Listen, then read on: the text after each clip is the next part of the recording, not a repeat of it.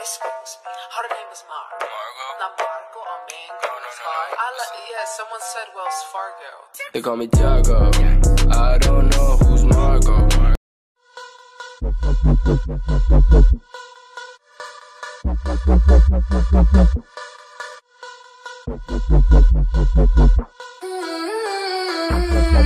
across